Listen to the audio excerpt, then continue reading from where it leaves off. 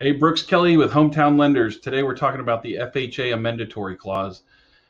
You have a bunch of buyers out in the market that are FHA approved and they're not getting houses. And why is that? And it's because of this one form. So when you make an offer, that's FHA, and in your third party financing, you check FHA. That seller is agreeing to signing that amendatory clause. And the amendatory clause says that the home must appraise for the purchase price or the buyer has the right to terminate.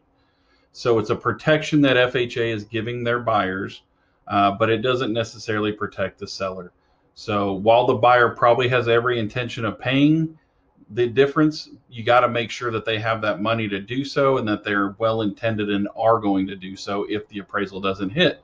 Uh, otherwise, there is no protection for the seller. So uh, this is a uh, something that's come up over and over again. Um, you want to make sure that your buyers can do this and will do this.